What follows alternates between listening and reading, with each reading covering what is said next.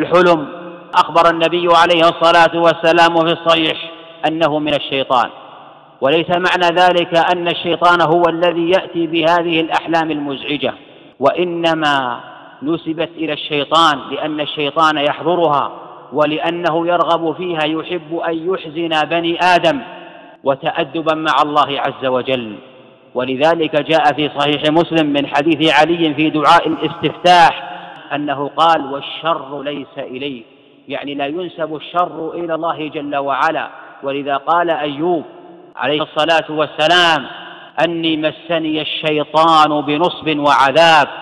ولذا قال إبراهيم عليه الصلاة والسلام وإذا مرضت ولم يقل أمرضني الله وإنما قال وإذا مرضت فهو يشفيه والأدلة على هذا كثيرة. من أن الشر لا ينسب إلى الله جل وعلا ولا يعني أن ما يقع ليس من خلق الله عز وجل. كل ما يقع من خير أو شر من نفع أو ضر فإنه من الله جل وعلا. الله خالق كل شيء.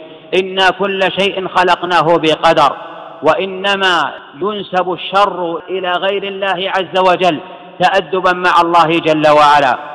ومن ثم فإن معتقد أهل السنة والجماعة أن الله جل وعلا خالق كل شيء.